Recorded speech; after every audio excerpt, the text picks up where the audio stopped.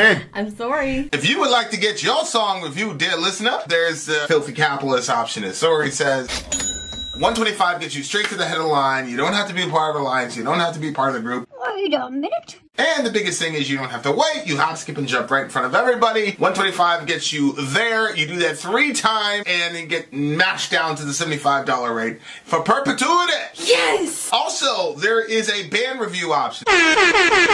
So if you've got a band and you're trying to get your band some exposure, hit me up at instory at gmail.com and I'll show you the details about how to pull You that off. You can also jump on Patreon, and there is a option on the tiers to be able to get your band reviewed. Obviously, we can't lie to you, so we can't guarantee, Can't a positive you a review. positive review. Get what you get. It's just rubbish. Rubbish. Rubbish. That's British for garbage. Ah! My favorite is the community option. One dollar at the gate gets you in a Patreon. You get to join an alliance. The alliance joins their points together, and that helps determine what songs that we do. The alliances hang out on Discord. Message me on Patreon to get the link. And they do all kinds of other cool things. They do Minecraft, Dungeons and Dragons. Yeah, yeah. It's really a community within the community. Anybody can go in the village, facebook.com backslash Vin and Sori. There's 160 plus thousand people on the channel. What's cool about the Discord is that it offers a real opportunity for community connection, friendship, that type of thing. But, uh, And it's on Discord, so if you're not a Facebook person, it's for you. you start off at a dollar. Right. Plus, you get exclusives. Sori and I are working on a song. So the first 15 seconds of that was on Patreon. Also, at $15 tier and above, when we actually debut the video, they're going to be there live with us. There you are, dear listener. Buy our merch. Buy our merch indeed. A Buy child our shall merch. lead them. We are on the last song of our DJ stream tonight. What a tragedy. Uh, doesn't mean there's not a bonus one coming, Tragedia. but There have been Agents a lot of Colin and bonuses Ema. on this stream, ladies Yeah, I know. gents. There's been lots of bonuses. It's uh, it's currently 2:30 in the morning here in Maine. We're running on four hours and 43 minutes, and we are still running, ladies and gents. yes. yes, Kai, Okay. Kai, Kai. We're going to hook up, bro. We're good. So this, We're all the way good, bro. Go ahead. this song um, has been brought to us by Middle Earth. This is Middle Earth's pick. So the comment here is saw them live at the former home of the Los Angeles Lakers, the fabulous forum, Inglewood, California, in 1978 at one of the two shows, either on 10. 5 or 10 6. That tour was in the round on a revolving stage. Oh, cool. Oh, man, Constructed for the tour. I have zero recollection of anything on that day. Who I was with, whatever. Just the concert. This is Middle Earth. This is Middle Earth? Yeah, just the concert as I as I was it. blazing hard and fully mesmerized by the concert. Saw this song performed. At least I remember the concert clearly, and we had great seats to boot. One of my best concert experiences ever. Young and dumb I was. This song is in two parts or movements Your Move and Seen All Good People, and played on FM album oriented stations as such.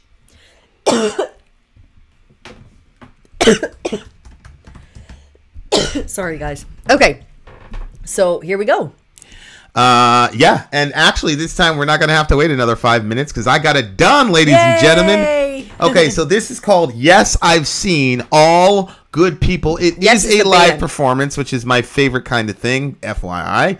And let's go. I've seen all the good people. good people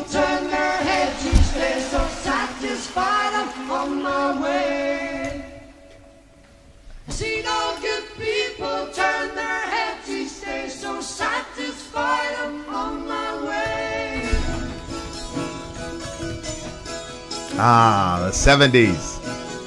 Or maybe it's the, uh, yeah, 1971.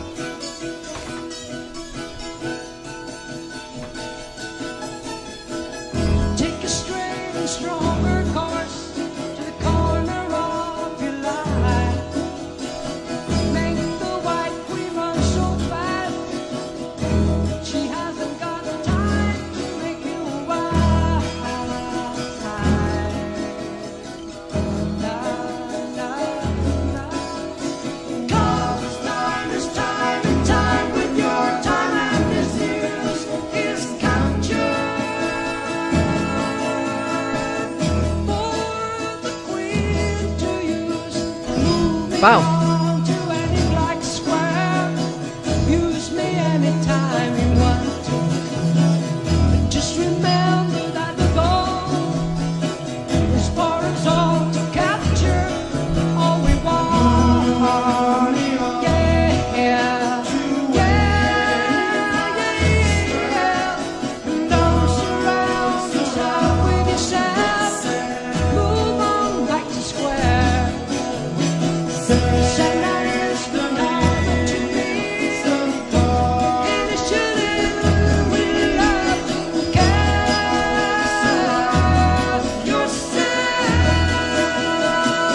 Wow.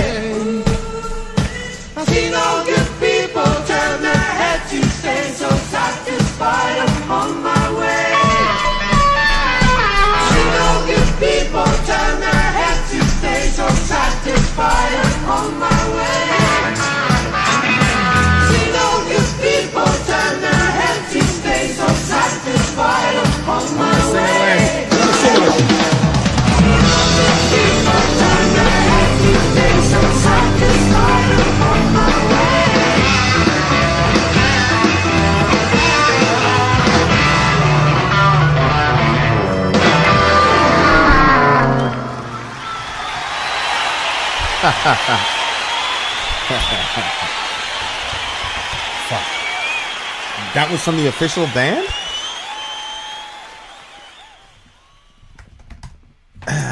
Damn it. Then we're going to have to do that big whole thing again. Oh, big whole thing again.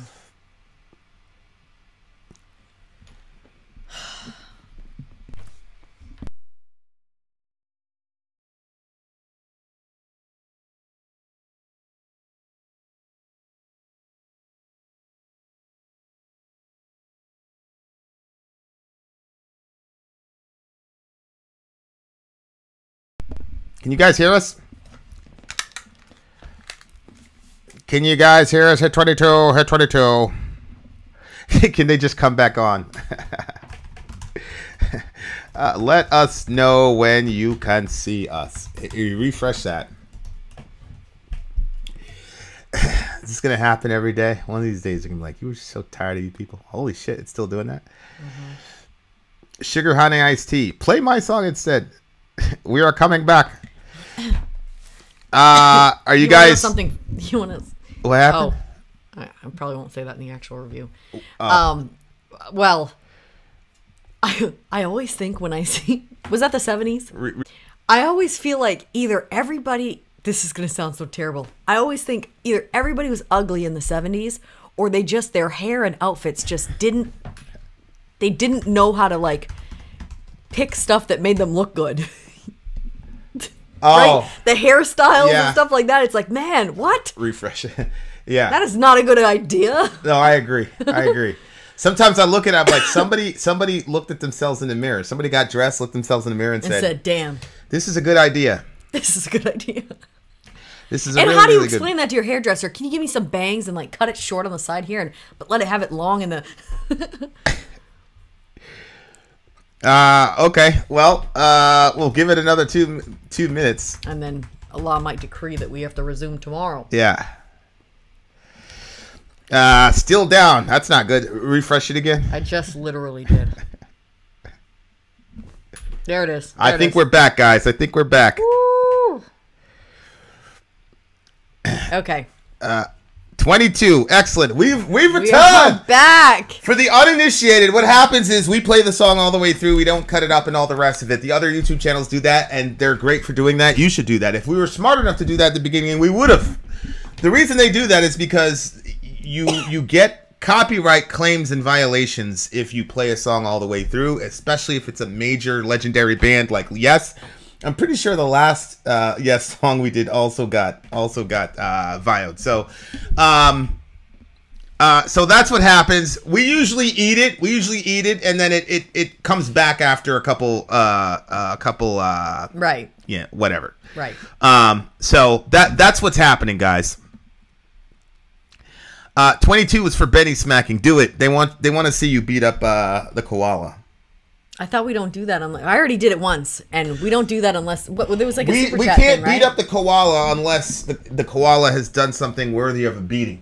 And or that super chat thing. That was what was what it was. There was like a certain super chat that they had to do. oh, that's, they were doing five dollar super chats to see Ben get beat up. Was it five dollars? Because he, he, but he, he, he, you know, he did Yeah, the thing I cross. know. Shout out to Ben Webb. Love you, buddy.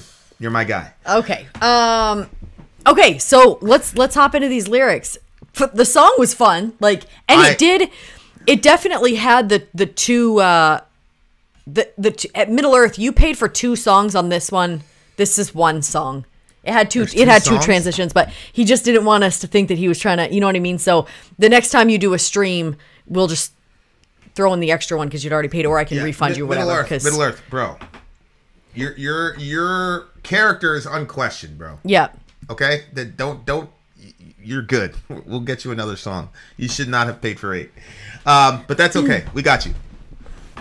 So I actually didn't even hear the lyrics literally at all. Because I was just watch. I mean, it was, it was very entertaining to watch these people with their haircuts and Yeah, their. yeah. And there was like that one guy with the blonde hair, the long hair, and he was getting right into it with his clapping and Yeah. like Yeah. I loved it. I I liked seeing that. And then I kept thinking, obviously, like how you said that you were at obviously you were at the show, and um, what an experience that was. I can see how if you're show? at that show. this very show, the one on the video. Oh, I don't know if it was this very one, but it was this band, and they were doing this song at the concert that he attended. You know the seventies. The seventies uh, is my. I've, I've I've had this conversation with you, right? Like I don't believe, I don't think I believe in past lives. But if I did, I was in the, I was in the seventies, right? Mm-hmm. Like Yeah. you know they'd have that those like floral wallpaper designs. Yeah, yep. They're kind of like orangish. The whole room was like Oranges and greens. yeah, like orange and green. Yeah. Yeah. I love that shit, bro. I love it. You- Still? Oh yeah, I, I- that whole the whole feel of it, like watching movies like uh, I think it was like Shaft or something like that, like just in the seventies and the, the funk music and the. it's Oh just, man, it was babe. just it was. I think I think the seventies was also a really cool, cool time for music. I mean, obviously we're speaking speculatively because we were nowhere close to being alive, but you see what I'm saying? Yeah. Go ahead. There is a house that's actually close by us. My parents went there for some meeting one time, and the people let us go around their house because the way they designed it was absolutely ridiculous. So each room was like retro. Like the wallpaper, the everything. It was so ridiculously like on purpose dated back so far. But all the rooms felt they were exciting. You would have loved it. You'd have loved the house. I just love that, and I and, and you know what's funny? Like that mute that that time period. I said the seventies. It has that signature style. Like the vocalist had like a. It was kind of like a dreamy type of, Yeah. you know. Yeah. Yeah. Um, and, and you're right. Like, definitely the, the lyrics are important. We're going to it, but I, I just love live music, and I like the fact I like how much um they were into it. The guy was clapping and stuff, like wasn't like rocking or but he was like clapping, you know, to the beat. No, like I, I just I. Anytime I see musicians, like we're at the Korn show, and, uh, Head was um uh I forgot I think it was issues and he was singing along to the words as he's playing. I love that. I love when people from from the band are quoting the singer. I love that because I'm like, yes, like Yeah. they really enjoy. I the totally music. agree. Totally I love agree. it. I was watching a, uh, I forgot what it was. It was a girl, and uh, I'll tell you what, Arch Enemy. So the girl that the the, the the the front the front one the front woman for the band now is not the one I'm talking about. There was another one before her, and she was like, you want to talk about like going to war, like. I would go to war with this woman. It was insane. Like the way, it's just the way that she was, and- she was like, I, mean, it was, and there was no bullshit. You could tell like that's just how she is. You know what I'm saying? Shout out to the girl from uh, Enemy. I forgot, I forgot her name, but it was like her stage presence. Like, forget it. Like I've never. It it was, you know. Anyway, I was like, holy shit. and it was so cool because you know she's a woman or whatever, but she was like commanding the crowd and everybody was following her and shit. I'm Ah. like, that is More a than Floor? power- It was a completely different energy. than Different Floor. energy, The, energy, like honestly, like Floor sounds like it's like an angel descending from the heavens. Mm-hmm. This woman was like, "We're going to go to Mordor. We're going to kill this nigga, bro. Like, let's Mm-hmm. go." You know what I'm saying? Like, we're gonna we, we're gonna drill on these people. Like, it's completely different. But these guys are not metalheads, man. They're they're you know. So their thing is they're not gonna rock. They're not gonna do all that shit. They're just gonna clap. Mm-hmm. And I okay, that's your thing, bro. Do that shit, bro. I love it. I love. It. I think I, that was such a good song. And th- this has been a pretty eclectic night, man. I Uh, gotta yeah. say. Yeah. I gotta stay. Uh, okay, so let, let's actually go into the actual lyrics now because I've that's our seen all thing. good people turn their heads each day. So satisfied I'm on the way. I've seen all good people turn their heads each day. So satisfied I'm on my way. Uh, take a straight and stronger course to the corner of your life. Make the white queen run so fast she hasn't gotten time. She hasn't got time to make you a wife. What? Take a straight and stronger course. hold on, let me start from the beginning. That was the beginning. Well, I've seen all good people turn their heads each day, so I'm satisfied I'm on my way. Okay? I've seen all good people turn their heads It's each the day, so thing. satisfied I'm on my way. Well, I'm sorry? I What was just thinking? telling you it was the exact same phrase. Oh. Take a straight and stronger course to the corner of your life. Make the white queen run so fast she hasn't got time to make you a wife. What the hell is the white queen? Is hey, the Alice in Wonderland. oh, I'm sorry. Alice in Wonderland. Uh, we've we've got a we've got an emergency. She did twenty two dollars. Yeah, I, I was pretty sure it was 22. I love you, buddy. But uh, go Look. ahead, sorry. Local recording stopped. You're out of this space. That's a problem. Mm. Right?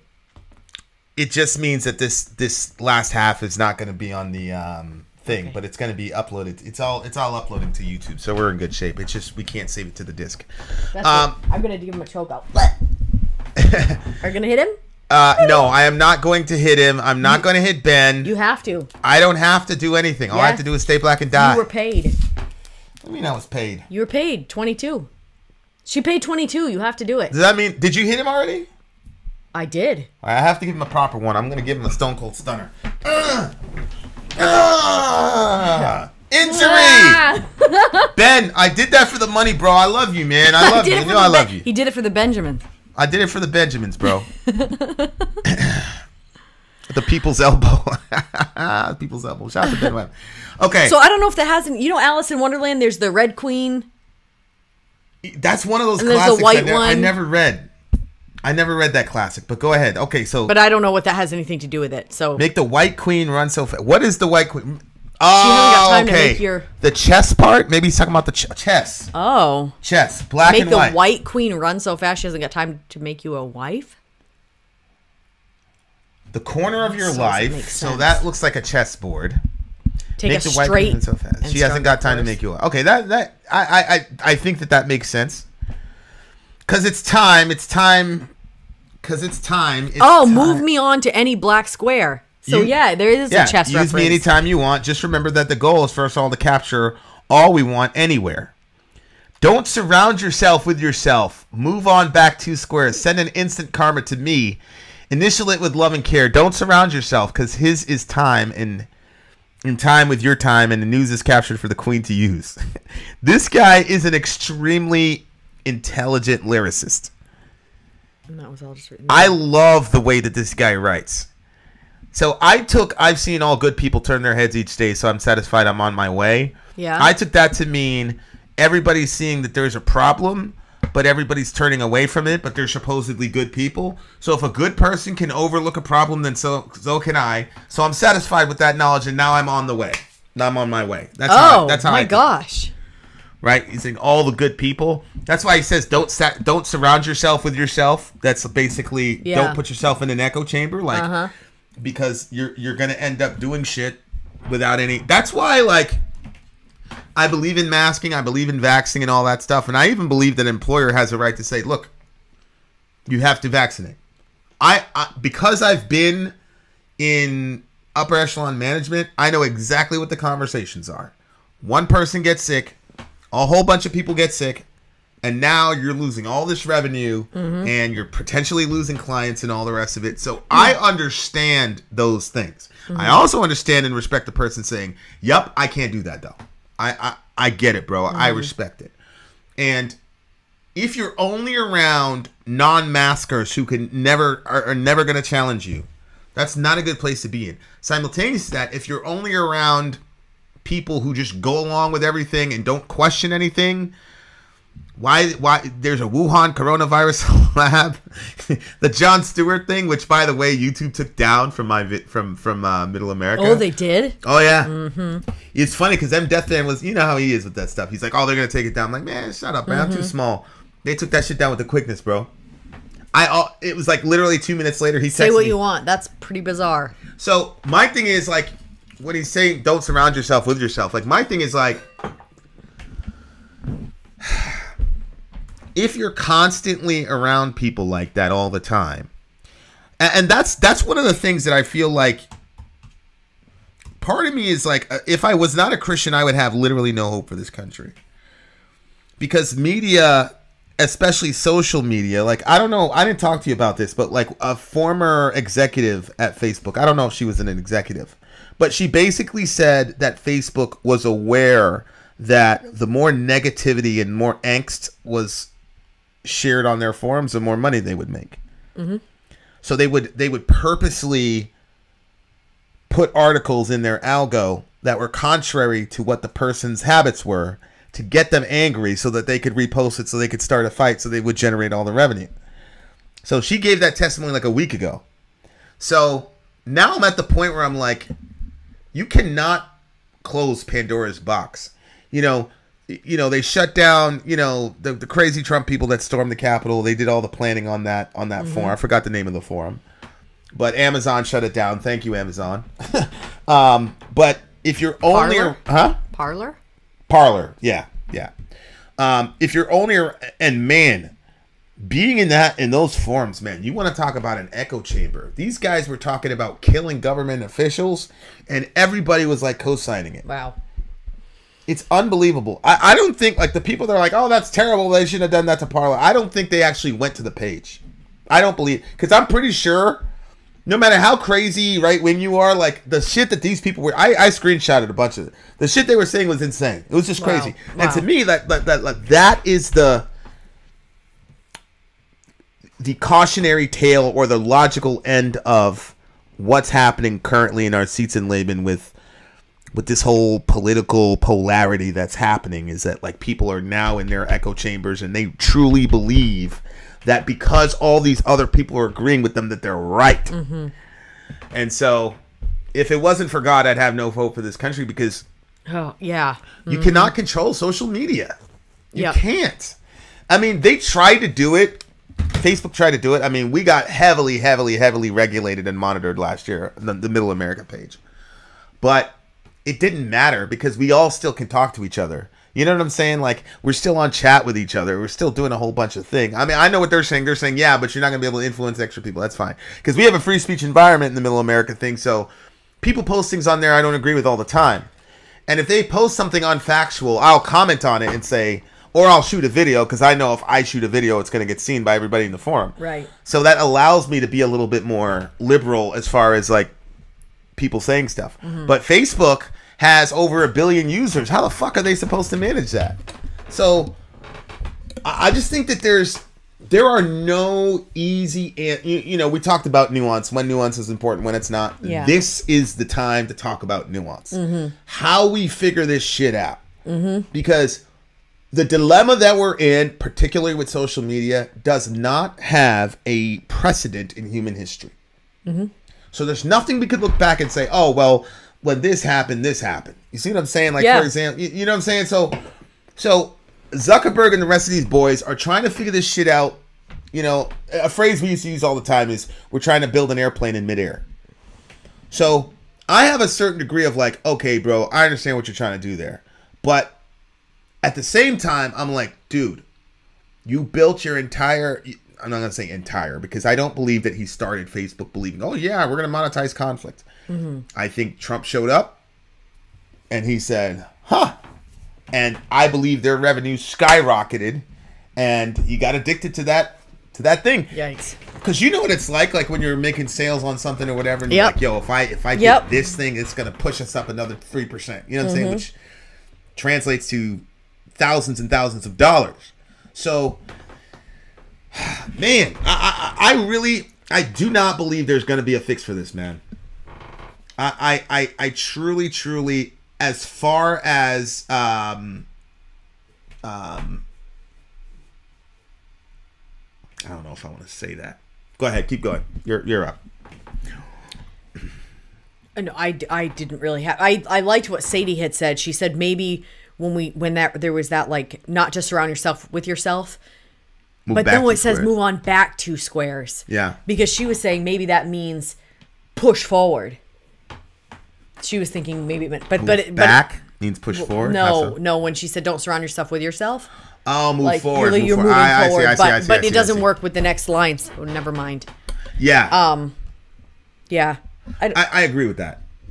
I, I, I agree with that. you do. Well, in, in not in the sense of this song. Oh, I mean, in the Oh, sense okay. because the, the metaphor. You ever, hear, you ever hear a person say, "I had to step back for a second and collect myself and Mm. then go." So I think that's what he means when he says "move back two squares." He's saying, "Man, because the closer you are, the less perspective you have. So if you if you stand back and try to get a larger perspective, yeah. you and that's one of the reasons why I listen to about an hour of Fox News every couple days because." Yeah. I got to hear what they have to say. And like I said, I, I disagree with them almost everything, but I'm glad that they're putting that backstop in about the masks and the mandates and things like that. The government should never be comfortable, even if they're right on a practical level. They should never be comfortable mandating that to us. They should Right. always be nervous to do Right, that. right, right, yeah. So if Fox is accomplishing that kind of thing where maybe Biden would have done something else and he's and, and they said we can't do that because. Fox is going to go crazy, then that's how democracy is supposed to work. Right? That's how it's supposed to work. So it's a really really tough balance. I think the powers that be are working double and triple time to figure out how to um, fix this. And I heard somebody, I was very, very nervous. I'm like, somebody said, like, he said something really crazy that he thought wasn't crazy, but it was crazy. Mm-hmm. And so it, it's it's a it's a very very crazy thing. And then now you've got good people who just turn away and keep and keep walking. Yeah. And so he's saying, "Oh, you guys are doing that. You guys are doing that. You're sleeping at night. Fine. Okay, I'll do that too. I'm satisfied. I'll be on my way then."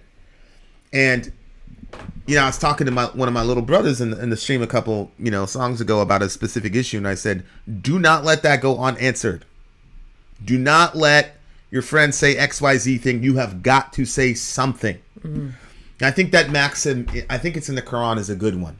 If you see evil, um, uh, you need to physically interpose yourself and stop the evil. If you cannot physically interpose yourself, you need to speak to the person. If you can't speak to the person, you need to speak to Allah. But you have to do something.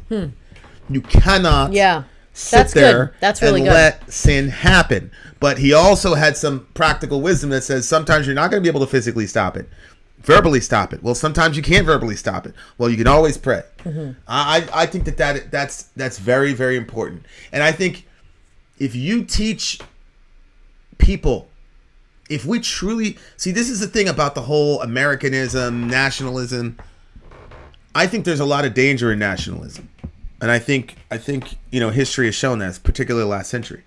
But there's a part of me that's like i wish i could talk to a person on the right who is against healthcare or whatever and be like okay you're an american you're a patriot you this is the greatest country in the world you have no problem saying that.